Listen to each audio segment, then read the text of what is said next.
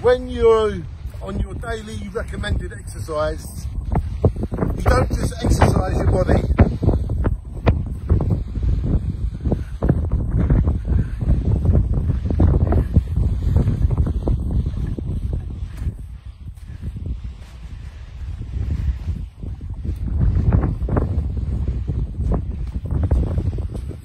But you can exercise your body. Shine on.